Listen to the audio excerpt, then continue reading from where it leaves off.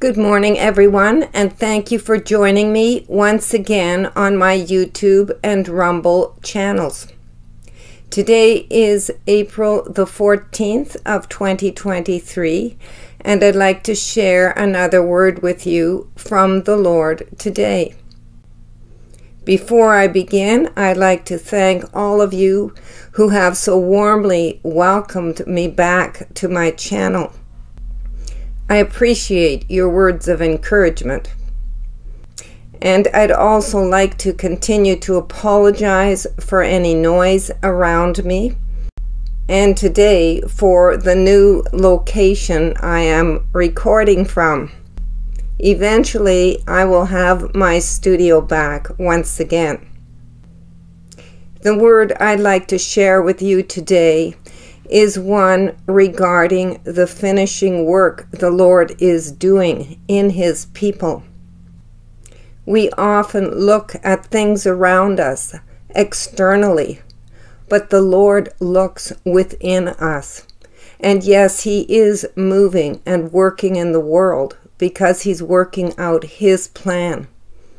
However, part of that plan is that He works in us to refine us and bring us into that place where we are most effectively functioning in all that He has for us. This word today is titled A Day of Deliverance. May it bless you as you listen. Revel in my love, says the Lord. Receive my joy and abundance that is available to you. You are my chosen ones, and you are my delight. I will give you the desires of your heart if you seek after me. In this day, a fresh wind of my spirit is blowing, says the Lord.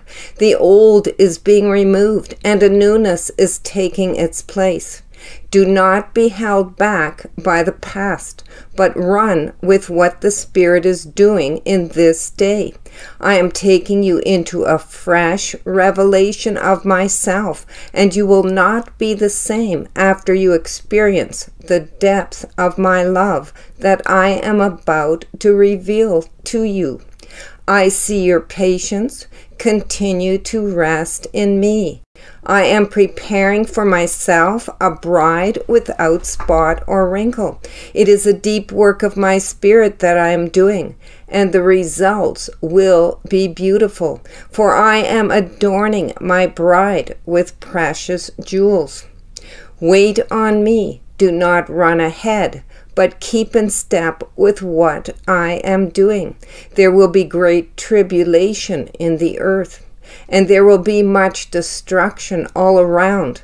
But these things must come to pass, for it is my desire and my purpose in this day to bring the hearts of men to myself. I am giving you my heart for the lost. I am putting within you a passion for the unsaved, and you will be thrust out into the streets and into places of darkness.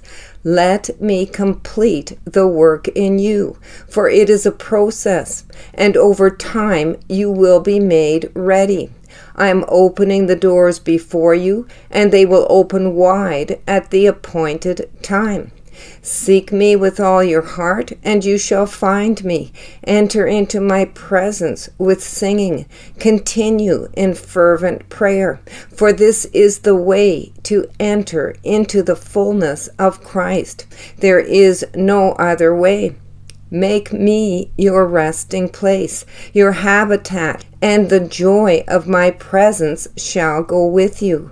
My anointing shall be upon you, and many shall be drawn by your countenance. Press into me, my children, and do not lose sight of the promises of God that have been given to you. But hold on to them, for their fulfillment is shortly to come. Today is the day of deliverance and a day of release for my people. In this hour, I am doing a new thing. I am lifting up those who have been bowed down under a heavy weight. I am lifting the weight off them and untying the shackles and removing the handcuffs. I am loosing off the sin that has dogged their feet, and they shall go forward in the call that is upon their lives. They shall run with great endurance, leaping over every hurdle with great agility. They shall run and not grow weary, says the Lord. Lift up heavy hands and strengthen feeble knees, for in this day I will use you for the purposes of my kingdom. No longer will you lag behind, but you shall be cut loose to run the race to reach the finish line. You are on a journey out of bondage and into the promised land, my children, and you will be brought into the land, but only through a process of workings of my spirit. On this journey, there are stops along the way, and at each stop, there is a significant work that I am doing. My people have been fenced in, corralled into a pen, and held there. They have been going round and round, it seems, within the limits of the corral, just as the Israelites were stopped by the pillar of fire that led them, and they set up camp. My people have been at a standstill and camped. This is the working of my Spirit, says the Lord. I have caused my people to camp here, for I am about to do a great work in this place. It is in this place that I will deal with sin. Just as sin brought into the camp hindered my people of old from moving on, you will not move on until sin in the camp is dealt with. I say unto you, my people, search your hearts, for it is at this place that you will be purged of every defilement. This is a place of repentance and a place to drink deeply of my mercy and grace being poured out to you. It is a watering hole, a place to be refreshed for the journey that is ahead. Do not be anxious to move on, but allow my spirit to do a complete work at this location. Be willing to be led by the pillar of fire I have put within your midst, the consuming fire of my presence, and do not try to move on until the pillar moves, but receive the refining and refreshing that is being released unto you at this place. When the work is complete, the pillar will move on and you will enter into a deeper move of my spirit, says the Lord. I hope this word today will encourage you that the Lord is merciful and gracious, but he also can see all things, and he knows exactly what's going on in our hearts and in our lives. And his intention is to purify us, to refine us, to bring us into that place where we come into alignment with his will and his purposes. We may think that our lives are our own but if we are in Christ, they aren't our own. The Bible tells us that we were bought with a price, that it's no longer us who live, but Christ who lives in us. We belong to Him, and He is refining His vessels and completing the work He intended all along. And so, as this word suggests, we may feel like we are corralled in and at a standstill. But the Lord is telling us that it is at this place that He has stopped us and He is working on us and preparing us for the journey ahead.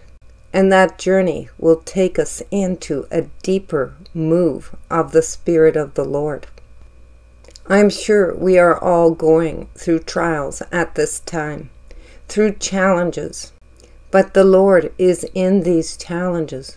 And so, as we continue to put our trust in Him, to draw near to Him, we can be assured He has great things on the horizon for us. I hope this word today has blessed you and will encourage you, and I thank you for taking the time to listen. May the Lord bless you abundantly beyond all that you could think or ask. May His love be poured out upon you. May He strengthen you and encourage you to run the race with great endurance. Be blessed on this day. Thank you for listening, and we'll talk to you again the next time. Bye for now.